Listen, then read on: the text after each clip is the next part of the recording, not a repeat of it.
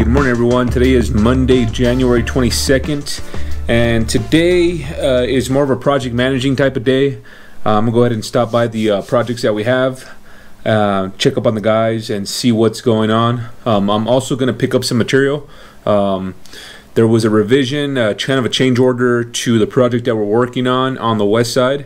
Um, the client wanted to add six more dwarf Yaupon hollies, uh, as well add six more pathway lights. So I'm gonna go ahead and purchase those, uh, pick them up, uh, take them over to the guys, um, and uh, and talk to them a bit and see uh, see what the uh, the time frame is to go ahead and finish that project.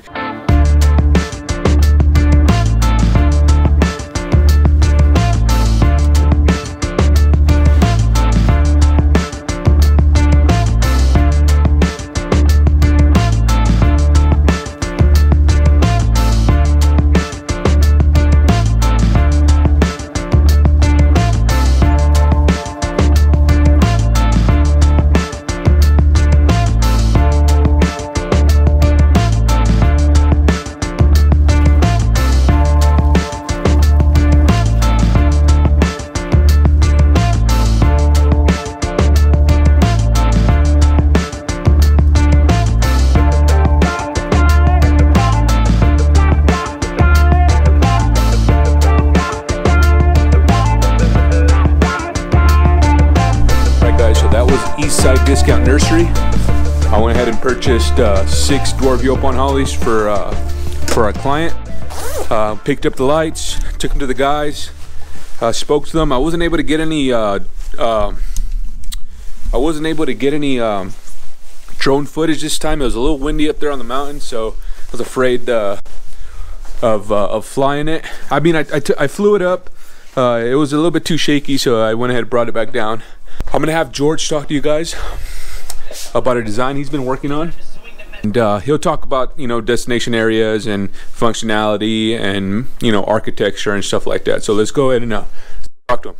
Back to the to the original design that you had for for this client, and Yeah. kind of go kind of walk it through and Well, they, they have existing pergola right here, you know, which I'm not sure, you know, what it's for um, function wise. Uh, aesthetically, of course, house is Mediterranean, you know, so, uh, you know, kind of a Tuscan Mediterranean, uh, you know, combination. So, uh, but they've got trees, and right now, you know, the grass is dying, you know, really doesn't work. So we're creating a, um, a landscape area under the trees, you know, so that it just makes better sense. Um, so that the grass and the trees, you know, aren't fighting each other. Um, the grass is out from underneath the trees, you know, which is going to work better because it's hard for the grass to grow when it doesn't get any sunlight.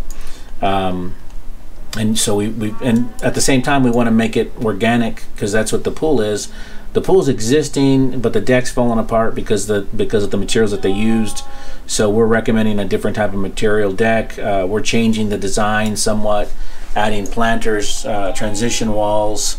Um, we're uh, adding a fire pit element to the edge of the pool uh, because they've got an outstanding view of um, El Paso, of El Paso. Now this is a this particular design doesn't show the actual finished design uh, that we have on our YouTube page, um, but um, but it's still overall similar similar uh, finish out.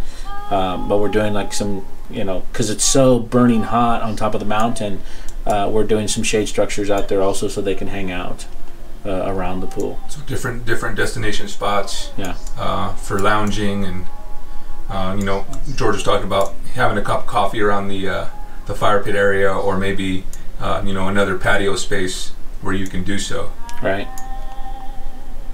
And then adding some, so it's already got some landscaping, but we want to add some shrubs and color stuff that works, that feels nice, that can grow out here. You know, we're not planting, you know, yuccas and cactus, which you know, which works just fine. Um, but you really want to bring in color, um, you know, atmosphere, good feeling. You know, so we're we're adding a little bit of that. All right, guys. So that is it for today. Um, but I'm gonna go ahead and leave you guys with a little uh, story of how I became a uh, a licensed irrigator. Late December 2017, um, I went ahead and uh, passed all my uh, irrig- irrigators exams and you know, got awarded uh, Texas licensed irrigator. Uh, a few months before that, Um, I went ahead and took the course, of course, uh, at the local community college, and signed up to take the uh, the test, the exam in Dallas, uh, Dallas Fort Worth area. George uh, went ahead and flew me out there.